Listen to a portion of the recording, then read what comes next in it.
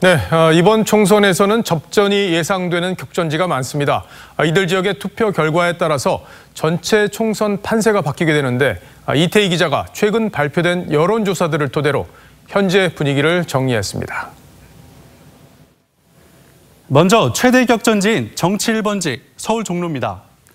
이달 초 조사에서는 이낙연 후보가 49.6%, 황교안 후보가 27.7%로 제법 격차가 큽니다. 손학규 전 바른미래당 대표의 종로 출마 여부가 최대 변수인데요. 출마한다면 어느 쪽 표를 잠식할지가 최대 관심 포인트입니다. 서울 광진들은 조사마다 결과가 다를 정도로 접전입니다. 리얼미터 조사에선 고민정 후보가 46.1%, 오세훈 후보가 42%로 오차범위 아닙니다. 한국리서치 조사에선 역시 오차범위 내에서 순위가 바뀌었습니다. 경기 지역 민심은 어떨까요? 진보 성향이 강한 경기 고양 갑에서는 민주당 문명준 후보와 정의당 심상정 후보의 표가 갈리면서 진보 진영 민심이 나뉘었습니다. 통합당에서는 이경환 후보가 뛰고 있습니다.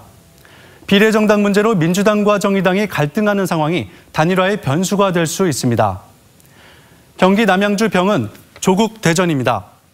조국 전 장관 시절 법무위원으로 활동한 김용민 후보와 조국 저격수였던 주광덕 후보 간의 오차범위 안에서 초박빙 양상입니다.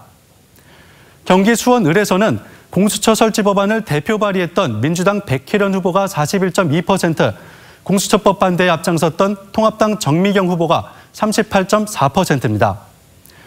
경기 용인 정에서는 판사 출신 이탄희 후보와 기업인 출신 김범수 후보가 각각 45.1%, 39%를 얻었습니다.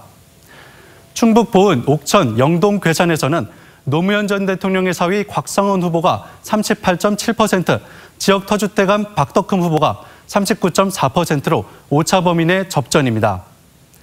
전남 목포에서는 민주당 김원희, 민생당 박지원, 정의당 윤소아 이렇게 진보 진영 세 후보가 경쟁하고 있습니다. TV조선 이태입니다.